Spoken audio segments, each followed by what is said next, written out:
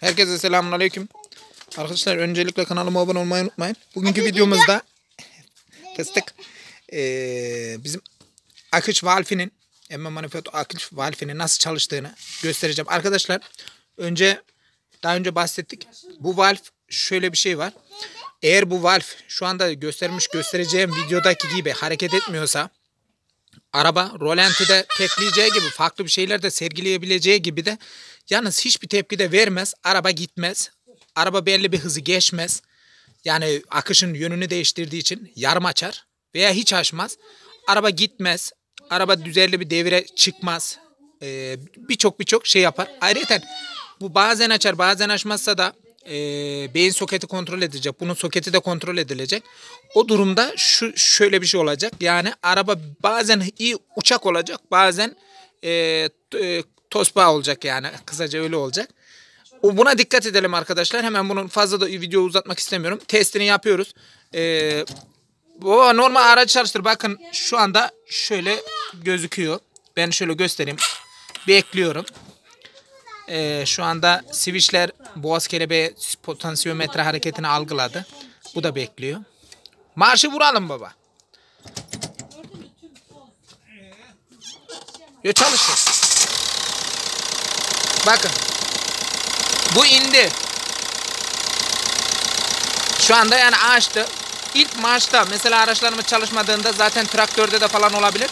Bunu kapatabilirsiniz. Traktörün hava girişini en- engellediğinizde ilk marşta rahat çalışır. Farkındaysanız ilk marşı vurduktan sonra çalıştı. Bunun sağlamlığı bu şekilde ilk marşta aşağıya inmesi gerekiyor. Akış valfini açması gerekiyor. Baba şimdi e, gazı verip verip bırakacaksın. Duyuyor.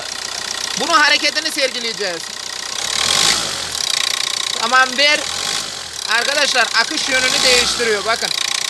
Ee, araba çok yakar. Arabanın yakıtı değişir.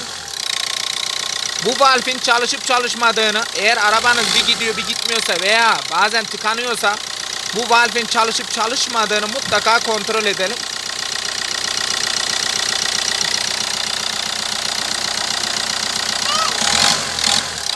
Evet.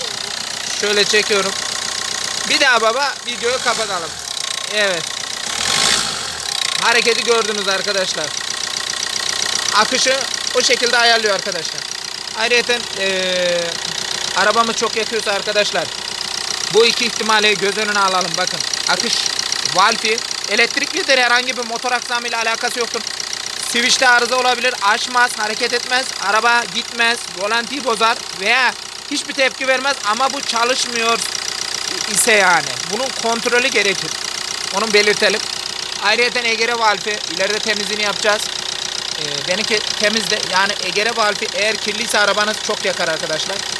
Mutlaka çok yakacaktır. Bu iki parçaya çok dikkat edelim. Tamam baba kapat. Evet arkadaşlar kısa bir video yaptım. Umarım akla takılan bir şey olursa e, cevaplandırırım. Yorumlarda görüşmek üzere arkadaşlar. Arabamı çok yakıyorsa partikül EGR ve akış kontrol valfi mutlaka ama mutlaka kontrol edilmelidir.